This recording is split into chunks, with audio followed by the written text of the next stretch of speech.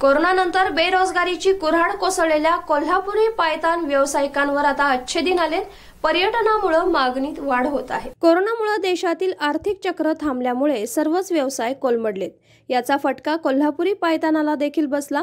संपूर्ण व्यवसाय चार महिने झालं ठप्प झाल्यानं आर्थिक बेरोजगाराची कुऱ्हाड चप्पल व्यावसायिकांवर कोसळली आहे. मात्र अनलॉक प्रक्रियेमुळे कोल्हापुरी चप्पलला ऊर्जित अवस्था येत आहे. जिल्ह्यातील जवळपास पंधरा हजार कामगार कोल्हापुरी पायतानाचा व्यवसाय करतात.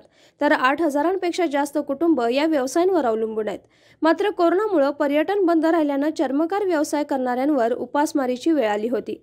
साहित्य खरेदी करण्यापासून ते चप्पल विकण्यापर्यंतचे सर्व चक्र ठप्प झालं होतं. जवळपास प्रत्येक कामगारांचं लाखो रुपयांचं नुकसान तर झालंच त्याशिवाय अनेकांनी या व्यवसायाला रामराम ठोकला.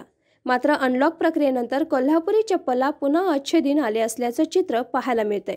पर्यटन वाढू लागल्यानं पर्यटकांची पावलं दुकानाकडे वळू लागली आहेत मात्र आर्थिक फटका बसलेल्या व्यावसायिकांनी लॉकडाऊनमधील कर वीज बिल माफ करावं अशी मागणी देखील केली आहे.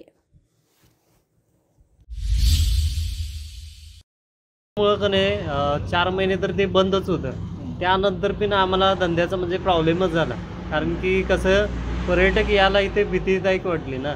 त्यामुळं कसं थोडे थोडे पर्यटक एक दोन एक दोन म्हणजे असे येत राहिले.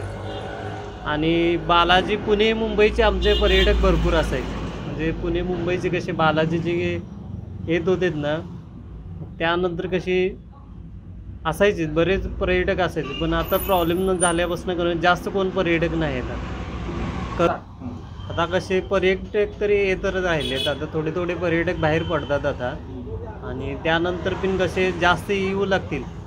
पण जरासं कसं हे जरा करोनाचं आता काय संपलेलं आहे. थोडंफार तरी म्हणजे त्या ह्याच्यानं येतात आता पर्यटक तरी या लागल्या बोला. एक चप्पल कमीत कमी जे बनतं ना ते म्हणजे कसं अडीचशे तीनशे ह्या रेंजमधने बनते. म्हणजे बनवायला जातो वेळ जातो त्याला. नुकसान तरी बरेच झालं आहे म्हणजे कसं एक चार महिने तर बंद होतं त्यानंतर सुद्धा तेच प्रॉब्लेम यायला लागला. आणि त्यानंतर जरा कसं असं कमीत कमी आमचं लाखो रुपयाचं नुकसान आहे. काय असणार शासनाकडे मागणी? आता काय शासनानं केलं तर चांगलंच आहे. म्हणजे कसं आता हे चार महिने आमचं बंद होतं एक एक स्वतःची दुकाने गाळे आहेत किंवा भाड्याने बिन आहेत. त्याचं भाडं बिन आम्हाला आता भरावं लागलंच. ते काय कमी कोण करेना माफ करेनात. ते म्हणतात ते सगळंच भरायला हवे पाहिजे आणि आता कस्टमर करावे अशी अपेक्षा आहे? आहे तशी. केलं तर चांगलीच गोष्ट आहे. आणि आता कसं थोडं थोडं कस्टमर आहेत. म्हणजे त्या ह्याच्यानं जरासं आमचा आधार थोडाफार आहे तसं.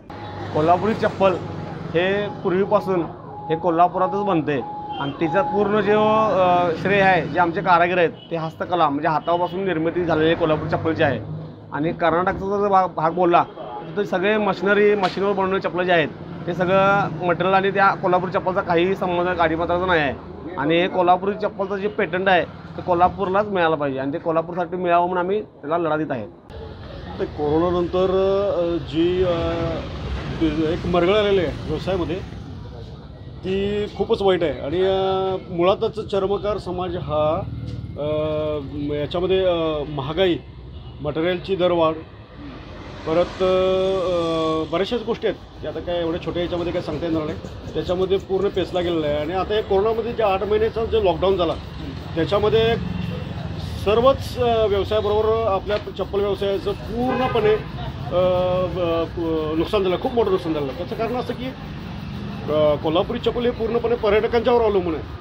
आणि पूर्ण कोरोनामध्ये हे पर्यटकच थांबले यायचे.